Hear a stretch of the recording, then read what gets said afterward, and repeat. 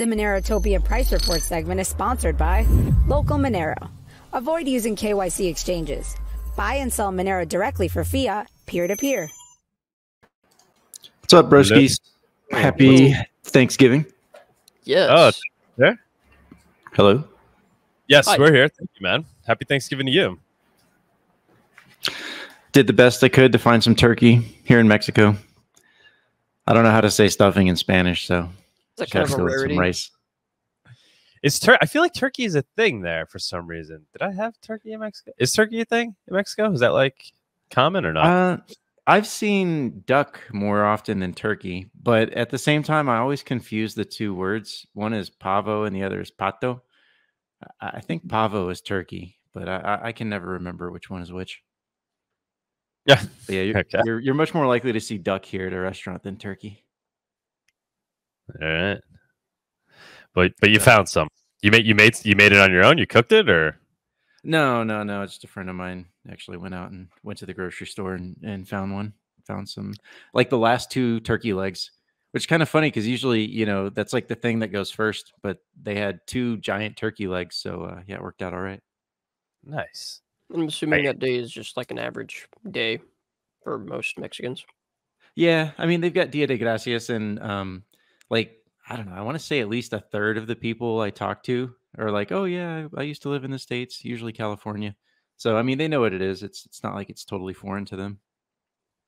Nice. But um Dia, Yeah. Dia de Gracias. I never even heard of that. When is that? that's uh Thanksgiving. The day. Oh, of- they do it on the same day. I mean, that's what they call it. Okay. Like that's what I've heard people say, El Dia de Gracias. Oh. So, which is, you know, the day of thanks. Yeah, yeah, yeah. I didn't even know that was a thing down there. That's cool. Nice. And then I yesterday so- I used the um, you know, I I feel a little bit bad. I could have kind of warned you guys last week that um that the Black Friday sale on TradingView is always like, I mean, it's like a 75% discount. So for example, you can get TradingView Pro, which is normally six, seven hundred dollars for like two hundred and fifty dollars on Black Friday. But I think that ended I think that ended like it at 12 last night. So you might still check if you, you know, if you pay for the trading view subscription, which like if you do any trading, I kind of recommend that you do. Um, but uh, They have a Cyber Monday sale instead. oh, okay, well, there you Up go. to 70% off plus one free month. Oh wow, okay, yeah, right on. So they, I guess it's all weekend then. Yeah, it's a good time to to get your subscription um, for trading view if you if you're inclined to pay for it. Um, all that wave magic stuff that I show you guys, it's like it prints like six to seven hundred lines on the chart. So yeah, they definitely make me pay them to uh, to be able to put that much stuff on a single chart. So uh, yeah, we had um, the big news this week is that um, CZ unfortunately, sadly, will not go to prison. Uh, he'll only pay a, a meager four billion dollars um, to avoid jail time. I and for can't the remember. totally wrong reasons, right? yeah, I mean, and then and then the money is like not even going to um to FTX. So what part of the finding was that um was that he was part of the FTX collapse. Like he helped to make that happen, um, which we already kind of knew basically, uh, and Sam Bankman already knew. Yet Sam Bankman will go to prison for a long time, and and CZ just has to pay four billion dollars. So that's that's interesting. I mean, we don't really know how long Sam is going to go to prison, but he's been there, you know, for months now. Um, I can't remember if he's like admitting to like a criminal thing and he's like, yeah, I, I screwed up, you know, and here I'm going to pay the fine or whatever. But at any rate, he's not going to jail. And some new guy named Richard Teng is taking over. Um, he's been part of Binance for a while, and um, he's a WEF uh, World Economic Forum member. Um, although recently, you know, it seems like that may or may not be just because their their face is on the website. That may or may not actually mean much. Um, Yeah, I've But yeah, noticed that so- a lot where there's some people whose just faces on there, and I, I think it's sometimes by happenstance and not because they're actually really like a part of it. Yeah, like they might have attended a conference, they might have made a speech. Like Yeah. four years ago, if you had said, Yo, Anthony, you want to go talk to the WEF, you know, to the World Economic Forum and About Monero." some stuff. Yeah, I'd be like, Hell yeah, I'll go talk about Monero. And then all the anarchists would be like, Yo, this guy is a WEF agent, you know, he's it's, it's, it's a little silly, right? Yeah. Go because we saw that with Milei, right? That was a big thing with Milei this week. Everybody was like, yeah. Yeah, it was kind of Yeah. funny because I was like, yeah, that's not good. He's a WEF member. And then luckily some other people um, did the research and they're like, no, here's the video of him talking. It was 2014. Oh, and by the way, how many of you that are like dissing Milei because he went to the WEF once? How many of you even knew what the WEF was in 2014? Like, you know, back then we, we didn't quite know. So, Exactly. um, but yeah, so this guy Richard Teng is going to take over um, Binance, and uh, I, I'm sure we'll get into they're- it get into it more with the news, but just what what really happened with the Binance thing? Why is he paying four bill? Like what so what was the findings? Like what Bank I- Um, Secrecy Act so- violation, right? was that was that that was Say it? again. Bank Secrecy Act violations, Yeah, that would make sense. Um, probably uh, like not Uh, complying. not with money transmitter because I think they have those licenses, but like, I mean, money laundering and and who knows whatever. Like they've probably got some rap sheet that they haven't released to the public that they were presenting CZ with, and that they were like, "Listen, take the deal, or we're going to hit you with all of this stuff." Uh, or it's possible that the dude was basically just an insider all along. I lean towards that, towards that speculation, um, more than anything. Um, Oh, like, I feel like Sam Bankman was- market manipulation. I don't. Yeah, I don't know if they. Um, I I really should go read the the uh, the official release, which I didn't. I kind of just like went with the headlines and and a couple of my friends that kind of took a look. Um, but I mean, yeah, it's basically like we know that CZ's list of crimes are long, and the stuff that Binance has been doing um, to people has been pretty bad. Uh, I mean, I think the big ones are are the lack of KYC, intentionally serving U.S. customers, pretending like, oh, you know, you just have to have an IP that's outside of the U.S. Um, wink, wink, nudge, nudge.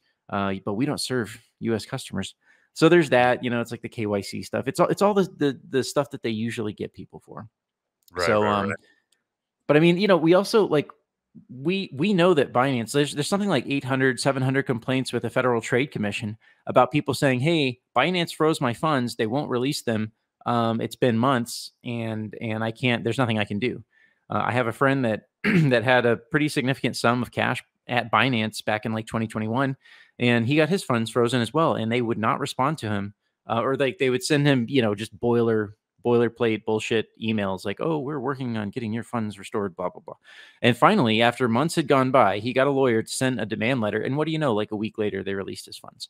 So this happens. Like we just know that they've been selectively scamming customers, and obviously with Monero, we know they fractionally reserve. Um, so it's just like their list of crimes is is long. The list of their bullshit is long. Um, who knows ex- what exactly um, that that uh, you know maybe under the table or behind closed doors they were threatening CZ with. Um, so I mean, yeah, he basically had to settle because there's no chance he could have held anything. He would have gone to jail with with uh, Sam Bankman if he'd gone to trial. So Do we think stands. this could this be the beginning of the end of uh, paper Monero on Binance of fractional reserve? I wouldn't or- um, I wouldn't hold my breath. Yeah, like I um, saw most of the just like initially looking at the articles, the the main things they were charging them for were the things that didn't really matter as much. Not the not the scamming customers, but more of the not complying with the Bank Secrecy Act. Yep. So yeah, but we'll look at that later, of course. All right, all right. I mean that that sounds like them. Like they they really like in their court filings they really focus on their authority and and their scribbles, and they rarely focus on like the real hardcore stuff that you've done to victimize people. Johnny you getting know, scammed doesn't matter to Uncle yeah. Sam. Yeah, like uh, that's just their mo. That's just how they that's how they go about it. So, well, anyways, uh, you know, uh, price news kind of out of the way for the most part. Um, let's see. We could start here with crypto. Yeah, why not? Uh, we'll start with Bitcoin. Actually, you know what? Monero's looking pretty good right now. Let's start with Monero. So the U.S. dollar price, we're bumping up against our sort of horizontally challenged area with this uh, dotted line right there. With any luck, um, we'll be breaking through that pretty soon. You, you would think like that it should. Overall, this is a kind of pattern. This is strength. You you expect this kind of thing to bump to the upside, break the resistance, and then uh, and then start bumping up along the uh, the more long term line here. So. Um, we've also got the the uh, the ratio, the XMR BTC ratio, um, has been underperforming. Um, as we talk about very often, you know, we've got the uh, we've we've got the correlation here to the total crypto market cap, or maybe it's towards Bitcoin, but it doesn't really matter. Uh, total crypto market cap, yeah. So Monero just like is inversely correlated. When crypto goes up, the ratio of XMR BTC tends to go down. Um, and we could also put this in in terms of Bitcoin. It would be the same chart basically. Um, so it looks like things are kind of trying to find a bottom here. You'll notice I've drawn this new line right here, and this is our very long-term view, obviously. So we'll zoom out here. We're looking at now like the, the past four years. And and you'll notice that uh, we can now draw a nice little happy support line right here. Um, hopefully, hopefully this holds. But uh, you know, if things are really looking up for crypto, then um, it we might spend some time down here on this line, uh, just kind of hanging out in this area. So, um, you know, right now, like things look optimistic for, um, let's just say they look optimistic for uh, the ETF approval. That seems like that's going to happen. Um, I don't know if sooner than later, but it, it is looking optimistic.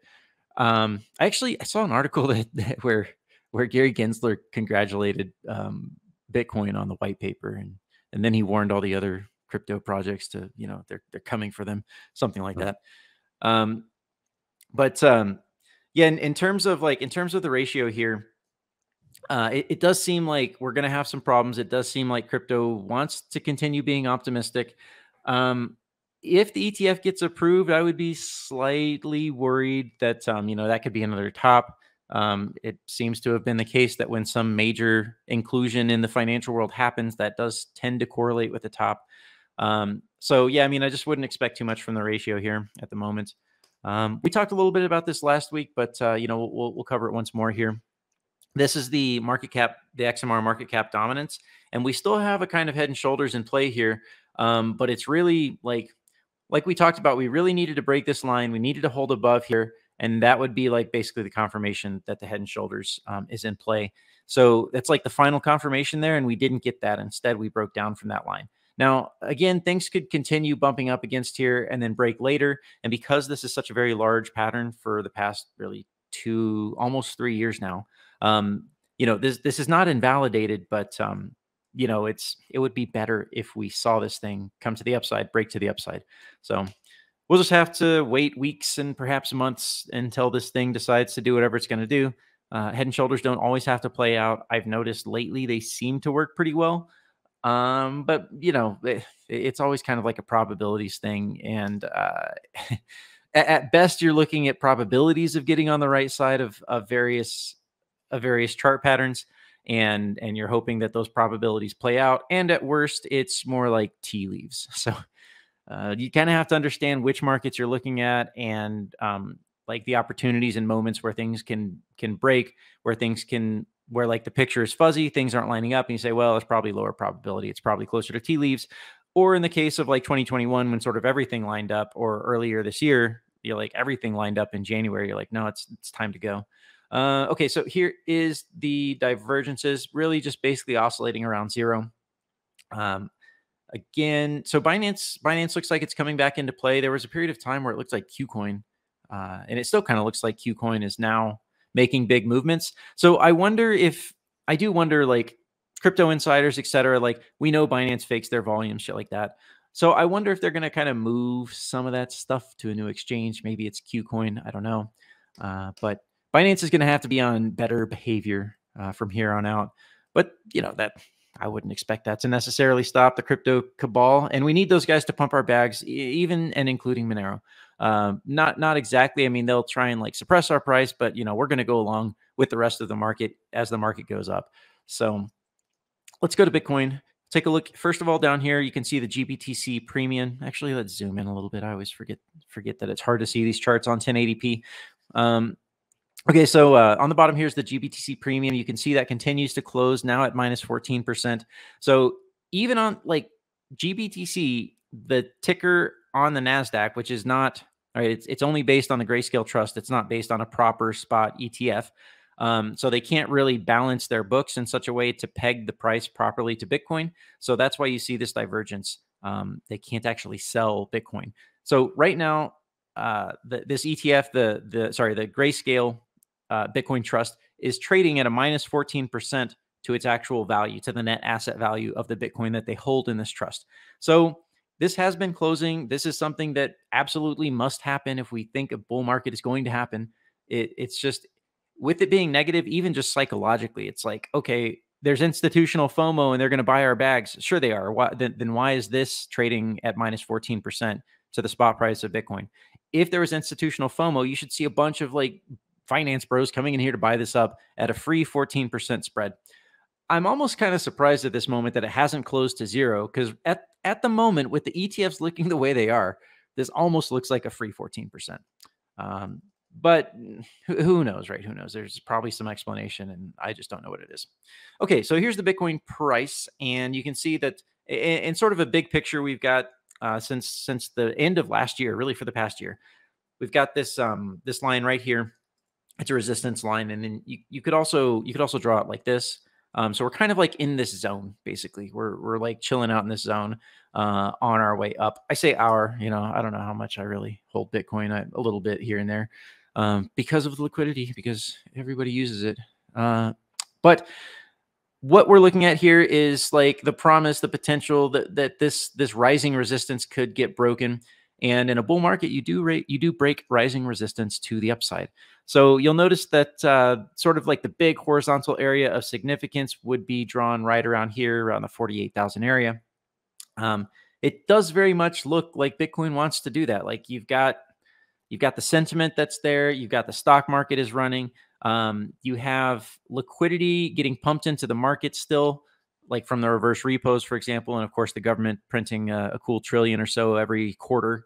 So like all of the things are looking like this this could really happen. So, um, and then you'll notice also that previously kind of like okay we bumped up up up and then fell but that was also there was a wedge pattern here and that was like that was a pretty clear wedge pattern amidst a situation that um, that liquidity was still contracting so it was easy to say that was going to go down there um, that was like last year in august uh, but then we only like just barely wick touched that line but now we're like sitting here bump bump bump like just hanging up at the top of this line um, this is exactly the kind of thing you would you would want to see um, to think that you could break this line so uh, Bitcoin looking optimistic still, markets still looking optimistic.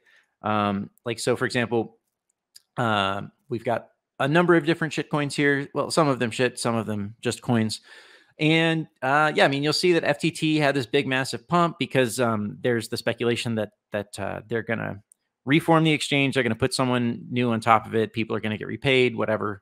Um, it doesn't matter. Like in positive times of happiness and exuberance, um, or the path leading to exuberance. People people just say, "Oh shit, FTT token, you know, they just make a comeback. The cases are resolved, and we're going to get the FT, ETF, uh, Bitcoin, and then Ethereum, and and uh, yeah, FTT is probably going to pump." So everyone just kind of says that, and then even if they don't, like insiders can just like start pumping the coin and then just dump on everyone. Like so, they massively pump it, and then everyone gets excited, they buy into it, and then they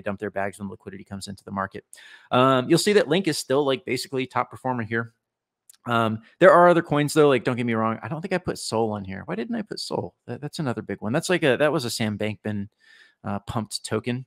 XMR is in red um, because Bitcoin already had kind of orange. Um, I tried to make it burnt orange. I'm sorry I didn't be true to our colors here, but you can see the red. Um, so overall, XMR is actually doing pretty well relative to itself um, and relative to the pack. Litecoin still kind of at the bottom of the market. BNB at the bottom of the market. With with BNB getting resolved, like with with Binance getting resolved, maybe there's the potential that BNB could like be the next big pump here coming up. I probably won't bet on that. Um, I'll probably just keep the positions I have and then look for exit opportunities um, if we get to like very clear levels. So, for example, like Bitcoin getting to the 48,000 area, 45 to, you know, say 50. To me, that's a very clear exit area. Um, if you're a long term trader, you take profit right there. You hope for a better reentry. If you're wrong, you know, and it continues like going to the moon, then okay, you just say, all right, well, I was wrong and I'm going to have to buy up, buy higher. But I mean, that's the danger of being a trader, right? Which is why people hodl. Um, and the easiest times to me are the bottom of the market and the top of the market, right? Like we have big statistical metrics we can look at. You've got macro liquidity situation that that you can examine. The, the, the picture is very clear to me at the bottom and the top, but it's the interim, it's the in between that's a little bit harder to tell, right? Because um, you might have less liquidity, so it might be easier to to move the market one direction or the other. Um, so you can you can see bigger, wilder swings when you're sort of in the interim. Uh, so you know, I mean, really I think your best bet, your best strategy personally is to is to try and identify those massive macro trends and then DCA in and DCA out. So um, 45,000, 50,000, that's a point to me. That's an opportunity that you can DCA out. Um, if for no other reason, then that that is very likely to be a big point of resistance. Um, let's take a look. Let's take a look at the um, at the stable coins because you know we haven't looked at them in a while. So here we go. Uh, green is USDT. uh, the market cap of USDT, and then white is the market cap of USDC. So interestingly enough, um, the stablecoin dominance has been rising. Uh, sorry, not dominance. Uh, the stablecoin, um, the USDT, like total market cap is now above its all-time high when Bitcoin was at 65, 70k um, in 2021. So I find that interesting. And you know, how much can we really believe that this is real? Probably a significant amount of it is real. Like there's probably China demand, there's probably this and that, and um, you know, it it does. I do still kind of like the idea, the theory that it's probably hard to exit out of USDT. I know that that uh, Bitfinex will be like, we always redeem, and we're so good about that. And they probably mostly only redeem to themselves and their friends, and give everyone else shit. You know, it's like, oh, you want to buy our coin here? We'll sell it to you, no KYC, no problems. But you want to exit the coin? Oh, suddenly we follow the law here, and you've got to provide, you know, everything. Like all right, I won't be lewd today, but you know they're gonna like bump up the extra KYC requirements, and and exchanges have all been known to do this. Like it's like the uh, it's it's the Doge versus the Buff Doge meme, you know, where it's like the you know if you if you want to get in, like oh well it's fine, you can you, can just just buy. We barely KYC you hardly at all. But if you want to get out, well then we're gonna require like one level after another of proving who you are. And it's not always the case that they always do that, but I think they selectively do that right? Because you can't do it to everyone because then everyone gets pissed off. But if you do it to a select few people, you know, you can um, you, you can make a slight difference there in the exit uh, in the competition for exit liquidity. Um, okay, so anyways, the idea here is that USDC people are selling off USDC because you can actually redeem it, um, and uh, and then uh, so that market cap is going down, uh, whereas USDT has the opportunity to keep pumping their own market cap. So uh, let's take a look really quickly here at the Bitcoin, uh, like the one hour. Oops, there we go. Bitcoin one hour chart. So basically, things are continuing up in this in this rising channel here. Um, you'll notice. So these are parallel lines, right? So this is the reason that it's drawn this way. I know that like like this line right here, you're kind of like the very top line. Like, wait, hang on, but it broke through and it's all dirty. And why is that line? You know, there's only those two points. The reason is because this parallel channel is is about the best way. It's like close to the best fit. You would draw this line. Did I do the numerical analysis to prove and say this is the best fit line? No, I didn't do that for this, but you know, you can basically eyeball it and get close enough. So, I mean, again, like you think, okay, you want to see this eventually break to the upside. Um, we we sort of had this situation all year long where where Bitcoin like had the opportunity to break through rising resistance and it just continually had troubles where it would like it would it would pump up to the upside. It looks like it's going to break and then it would fall back down. So I don't like that I don't like exactly that it that it looks kind of like that, right? Where we had the same story for the entire year where it's like we're going to break rising resistance and keep going and then you just like bleed out.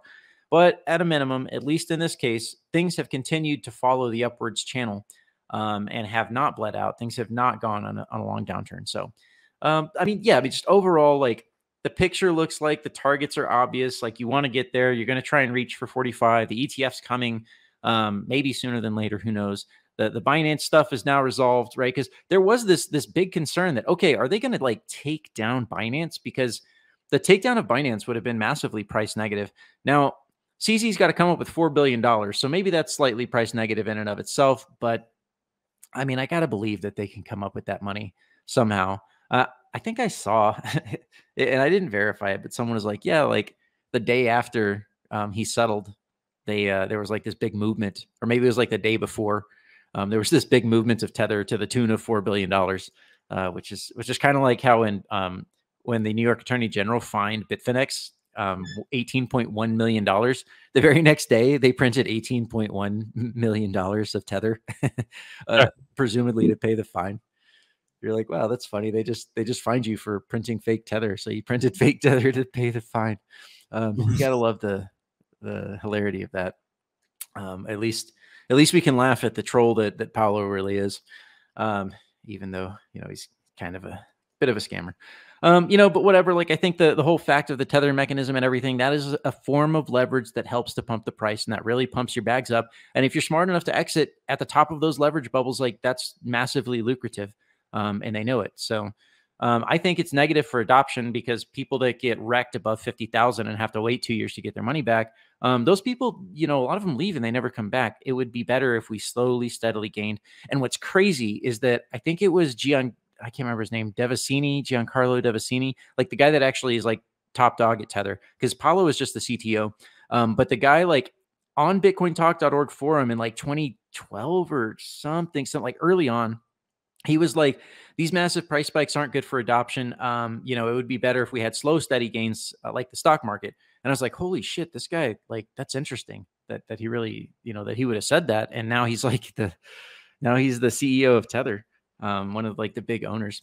Um, okay, anyways, uh, yet I digress. Here we are on gold, and gold has basically recovered. Um, you know, we hit this line. It was kind of like the line you sort of expect, um, sort of a topping line. Um, not a top, sorry, not a topping line, but you know, a spot for resistance. Um, things are back here again. You know, after coming down, probably this is going to break to the upside. I wouldn't expect gold to necessarily just like immediately take off. Um, but if it does, that tells us that we're probably like if gold really like breaks to new all-time highs, that tells us we are in a new bull market. And um, yeah, there will be pullbacks along the way, but it, it tells us we're in a new bull market. Um, I'm actually starting to get pretty concerned that inflation is going to make a big return. They, funny enough, a big bull market could actually delay the return of inflation because if everyone sees that, what are they going to do? They're going to keep their money in the stock market. They're not going to sell their stuff. They're not going to, you know, go buy new cars and stuff. They're going to be like, shit, I can make a 2x, a 5x, a 10x here. I better be in the market. I better take out a loan, which has the effect of printing money. And of course, those loans get pumped into the market. So, um, you know, we could get into another bull market and we could have sort of like a, a hiatus on inflation. And you'll notice last time what happened, we had massive, a massive run on everything after COVID. And then, uh, and we had very little inflation until like right at the end of 2021, it started, you know, getting to be a problem. Uh, and then it was just like terrible inflation, even as the markets were crashing. So that's like, that's, I would expect a similar thing to play out here that, that the inflation will probably be generally not not going too crazy. I mean, there's always inflation. The prices are never coming back down. You're still like readjusting mentally to the new prices, you know, to the new level. But um anyway, so the point is here that if gold makes starts making a big run to the upside, um that's like that's a very big clue to us that uh, that a new bull market is is is in progress. Um, you know, in terms of the chart, you would kind of expect this thing to get up here, maybe spend some time doing that, and then break to the upside. But things don't always have to unfold like that, right? Like things can unfold in, in interesting ways. Like gold could do this, that, and then that, right? Like, and that could happen early next year. That could happen mid next year. Or maybe this thing, you know, does that and waits until almost 2025. Um, so in terms of like the four year cycle, you would say that, well, 2025 would be like the big year, you know, the headliner year that usually stuff happens, you know, things start making their crazy big gains beyond their previous all time highs. Um, but you know, things don't have to look exactly like they did the, the previous time. So, um, finishing up here pretty soon, we've got the reverse repos, and this thing continues to just dump, dump, dump to the downside. I read I read an interesting thread that talked about the that the Fed is basically they're, they're having the, the US Treasury, the government, the Fed, all of them. The last Treasury sale that they did, I think it was about a month ago, they had significant problems. Like no one wanted to buy their shit ass debt. So what they're saying is that what this guy was saying is that all of this money parked at the reverse repo is getting less percentage than you would on like a short term uh, on a short term bond. So here's the bonds, for example, and you'll notice. So the white here is the overnight federal funds rate. The reverse repo rate is slightly below that. So you'll notice that you could be in a one year. Let's take a look. Make sure we get this right. A six month. Um. Oh, let's see. Let's just make sure which one this is you could be in at least like a six month or a one year um, bond and still getting like a higher rate. So what he's saying is that basically they're they're getting they're encouraging people that are holding um, at the reverse repo facility to swap that out um, for treasuries, right? To sort of make up the shortfall that the government can't sell enough treasuries to meet their um, to meet their needs. So um, probably a lot of that is is continuing like that liquidity coming into the market is continuing to drive um, the bull market. That's um, you know I wouldn't call this like a, a, necessarily a macro bull market yet. You know, you, you basically you have to break all time highs to really claim that it's a macro bull market. But this is the Nasdaq right here. Um, in green is the uh, is the U.S. liquidity, right? So that takes into account like everything, right? We're talking M2, reverse repos, um, the the Treasury balance sheet, the Federal Reserve balance sheet. So even though the Federal Reserve is still kind of contracting their balance sheet, um, a lot of liquidity is still flooding into the market, which is probably you know a big thing that explains this big rise in the stock market. So um, as long as these mechanisms continue to unfold, it seems like the macro picture would say that the direction is up. Um, so uh, yeah, that's just seems to be the case. And you'll notice, funny enough, like energy oil still doing relatively okay. Seventy-five dollars like for a barrel of oil. That's not bad. That's that's what we've been like. That's you can see that historically for the last uh, mm, really two decades, just about. You know, we're slightly. No, I mean we're just we're in trend. Like we're basically in trend. Okay, yeah, you know, you had the crazy crash down here, but um, overall, like this is middle of the road for the past two decades on the price of oil. So uh, yeah, I mean, just the big macro picture right now, just things look like they're like they want to continue going up. Um, I think that's about all. Uh, unless let me just check. But uh, yeah, I saw a lot of people pumping Zano this week in the privacy tech community. Did you? Oh, I don't know. I um, I mean, I have a confession. I don't. I don't really pay much attention to too much else going on in the privacy, the privacy coin world. I, it's like, listen, I want to see Monero adopted. Like Monero's the best version of a privacy coin that we have right now, and we need a Schelling point. We're already divided enough. We're already small enough. Like if and when Monero is adopted at let's just say the same level of big same level as Bitcoin, and um, you know there's like it's it's just broadly used then okay like let's explore other coins but um you know for the meantime we just we don't need them like monero functions really well there's i, I can't see why i would use zano. Yeah yeah what, yeah what, what did you see? Um well people just been talking about it this week you know zano does some things different you know it's, it's different than monero right? Monero's trying to be purely digital cash zano is it's got some kind of hybrid like yeah they, they're building confidential assets yeah, they're hybrid proof of work, proof of stake. Um, they're kind of trying like to that actually. trying to be the, the Ethereum of, of privacy coins, kind of going down that that road. I thought that was um, what's the Tari? Tari, what? No, Tari. I, I don't, what, what's up with Tari? Like, is it ever gonna? Did it ever launch? I, never, I don't know. I would love. Like, I would love to. You know, have Fluffy Pony come on and talk about that. I haven't I haven't heard much about it. I heard people talking actually at when I was at La BitConf last week. Really? Uh, one evening. No, we just ran into some hardcore Monero people and they were talking about Tari. Like uh, okay. You know, I can't wait till it launches. Yeah. Yeah, there was the momentary like kind of miss we'll just call it a misconception that Tari was going to be like Monero's layer 2. It's like mm. but even even Rick was like no, that's that's not that's not the case. He he kind of put it into that yeah. which was nice to see because you're like, no, that's that's definitely not the case. To say that would be a bit of shilling. Yeah, that was the original thought when it was coming out, right? That was like kind of the original meme. Like it's going to be layer two for Monero, and that quickly, uh, quickly realized that's not the case. I, I bet you um like their design was somewhat open, and they were like, well, maybe we could do this and this and that. And as they like narrowed down the design focus, they're like, no, no, that's that's really not going to be the case. Yeah, really, its only connection to Monero is that it's merge mined with Monero right? Yeah, That's I was disappointed to see they like only did one third merge mining.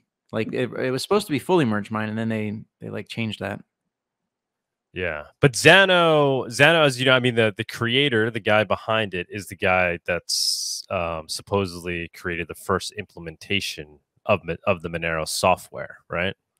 Oh, um, interesting. so it's it's interesting for from from that perspective. Um, and then I'd say also interesting. Yeah, he sp- he spoke at Monerotopia. Yeah, okay. we had we had, a, had the whole Zano team down there. That's right. I really enjoyed his speech actually. Like projects are yeah, yeah. Like I res- I respect their their approach and what they're you know, they're trying to just be an honest uh tech project, right? Um so I appreciate them for that. Um and they're contributing. Yeah, I mean, it's a, it, they're trying to like um accomplish a different thing, so yeah. I mean, you gotta you gotta respect that. You know, the guy who found it is the original. You know, the guy who originally implemented essentially the, the first version of Monero software. So res- respect to that. But it, it's it's, it's there. And then the other interesting thing is you had koe work on it, right? He he helped um develop Zar. I think what do they call it? Zarcanum. They're they're basically their proof of stake method and koe helped develop that because it was it was a it was a breakthrough, right? So it was the first time in crypto to do essentially be able to do proof of stake privately.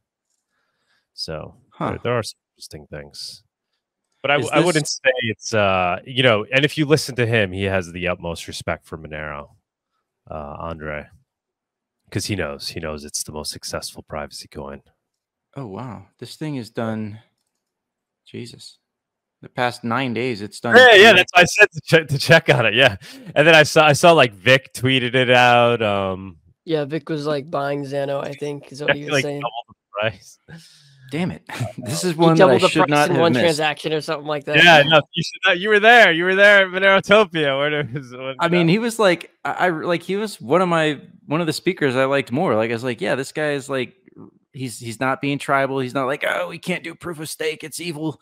You know, he was Exactly. bringing good arguments. He had seemed to have like a good depth of knowledge. And I remember, like at the time, I was like, yeah, I should check out the Zano thing. And then somehow I, I, I guess I just dropped it in my mind.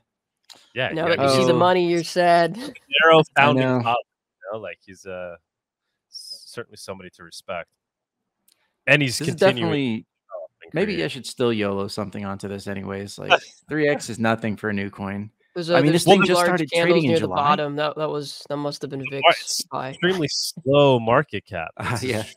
Like what is it? What's the market cap on this thing? It's like all right. I think it's all you sleuths out there, these three days are where Vic was buying. See if you can track down his address. Maybe shake him out for out. some Zano. Be like, yo, Vic, give us give us put Zano on on the uh on Cake, Cake Wallet. Wallet. And give I guess that's I, I guess that's what's happening, right? If he's buying it all up. You want me to, uh, to bring that up in the next stand up? if he adds it like in the next month, like we'll be like, yep. yeah. I, well, he he I, c- I could definitely see him moving in that direction. I think he might have mentioned it already in the past, maybe not. But I think the other big news was they're going to get listed on an exchange because they're not really listed on any major exchange. It's only what's that shitty? Uh, I should say CoinEx. shitty 'cause- No, no, no. Uh, Trade Org. Trade Ogre? Oh, Trade Org. I think that's like the only exchange. that Yeah, are it says CoinEx and Trade Ogre. Just those two. So that is that CoinEx probably could have been it because if they're getting big? out. Um, I don't know. Do you know, buddy? Is CoinEx what? Is CoinEx Is big? that like a, a large Oh, exchange? um, it seems maybe- like it's popped up and it's it's been listing coins um for a while now, for like the last year or so. I keep seeing it like a lot of times coins that are new that I can't find anywhere else, like a chart will be on CoinEx. So I don't know if it's big, but it seems like it seems like there's potential. One of the largest pumps for Monero that I remember is when Monero got added to the exchanges in uh, Korea, in South Korea. That was Hmm. like overnight Monero like tripled in price or something ridiculous. That was like 2017 or no, yeah, it was insane, and it was really because it got had gotten added to the exchange. Um, I mean, in retrospect, that's what it seems like. So, I mean, these small cap coins when they get added to large exchanges, I guess it's, it's a significant event, right? Yeah. Yeah, that's like actually the past few months have really taught me something. I um you know, like I told you guys, I basically bounced out of my long-term trading stack, but I said, all right, I could be wrong. I'm not too sure. I'm not totally sure where the market's going to go. I just want to protect my stack, but I'm going to put some like, you know, some small percentage of my of my net or my crypto net onto these like outside players that if I'm wrong, they should just bounce crazy. Um, so Yeah. Link was one of them. Um, Tau Bit Tensor is another one that's like, I mean, this thing has done 10x almost uh, in the past month, like in the past 30 days, it's done almost 10x. Um, I should have bought some Sol. I don't know why I didn't. That would have been a good, like, just you know, outside play. Um, but yeah, like, so that's kind of a lesson for me. Like, shit, man, you can get some pretty sweet gains even without having your main stack in play. Uh, Zano, here's another uh, example of that. Yeah, yeah, yeah. I mean, I really, I really don't gamble. It's more so because of the time. Like the, I just don't have the time, or I don't want to Yeah. devote that energy to it. But in theory, it's great. Like, so is is anybody successfully being like a financial advisor for crypto? Are there like, are there services being offered where you know somebody you give somebody X amount of crypto and they basically manage it for you? I mean, I'm sure there's crypto hedge funds. I don't, I've never really looked into trying to find one. Um, not even hedge funds. Like I like like you can do it, right? Obviously, there's, yeah, there's what regular. body? Can I just hire a body to right, like, like, manage my I, like if I give you, I, I was gonna have this conversation with you offline, but just in theory, right? This idea, this concept, is that being done? Whether it's you or somebody else, I'd have to I'm assuming I'm assuming that um so first of all, yes, but most of them are probably just like deals that people make between each other. Um, which I've seen a couple of those happen and uh, I eh, like you really better trust the person and know the person well, and even then it could be a problem. It's not even Um, trust. It's like the person may, you know, you may- you may just end up in a scenario where like money's lost, right? And then you're like feeling bad about the situation, right? It, Yeah. it has to be very professionally done. The other thing too is like when it's not your money, you know, it's easier to like you're not going to make the same decisions with other people's money as you are with your own money because the loss doesn't hurt as much. But it'd be cool um, to do I it in like a, a multi-sig way, right? You have somebody managing it, and then like you have to to sign for them to trade or something. It would be cool if exchanges did something where it's like there's a login for view only. Like you can't make any trades, but you can see what's happening. So it's like, okay, if someone's managing your funds, you can log in and see all the trades that are being made so that you know that they didn't like run away with your funds. Um, I'm sure there's got to be some companies, some corporations out there that do like crypto management of funds, stuff like that. Um, but I I don't really know of any. I have I've never tried to look, like track that down though. So All right, just throwing some business ideas at you, man. it's an interesting idea. It, it definitely you need a lot There's of some, permits. there's some itera- iterations I feel you can do of it to kind of keep it decentral, like um, maybe where you're not directly the one, you know, placing the investments, but you're advising on a like close basis. You know what I'm saying? Yeah, you could probably do Just- something on um, like a smart contracts platform where there's a contract, people put money into it, and then um, and then you've got some kind of manager that buys, you know, that uses the native DEX on whatever the it could be Ethereum, it could be Ethereum layer two, whatever, um, and then that would all be fairly transparent. You wouldn't need an exchange to do that. Um, I mean, it- it's possible, it's doable. I mean, to be completely honest, for the past few months, I've, eh, I mean, I I haven't really like so during during the uh, run up in the bull market and then during basically 2022 all of that rundown i mean i was living and breathing markets. The past few months i really haven't been like super hardcore into markets. I mean i check the charts every day. I spend maybe 30 minutes maybe an hour um, just like looking around seeing what's going on. Um, but i'm really not like hardcore into markets uh, the past really maybe like six months even. So Mm. um, yeah i mean if it was a business you know you gotta like you gotta make that your life. You gotta do that completely I hear you. I'm, I'm just looking at these. A, a lot of people talking now because we brought Oh up yeah, they're, Zano. they're talking about Zano. Gombat, yeah, he Gombat, jump on, to, uh, man, jump on today. Actually, we don't even have to talk about Zano, just in general. Um, haven't he seems to know the in most about Zano out of any of us, so He does. He knows a lot about Zano. I insight would be helpful. yeah, j- jump on during viewers on stage. I also want to get his insight on Argentina and the yeah Milei yeah women. that too yeah, I've enjoyed Gonzat's takes on Twitter lately. yeah. He's he's on top of it. I, I was hoping to meet him down there in Argentina, but it didn't happen. Um, we will uh keep going. Let's keep let's keep moving. We got a long long show ahead. Body, stick around if you can. Will do. Thanks, All right, man. Thank you so much. Thanks, body, as always.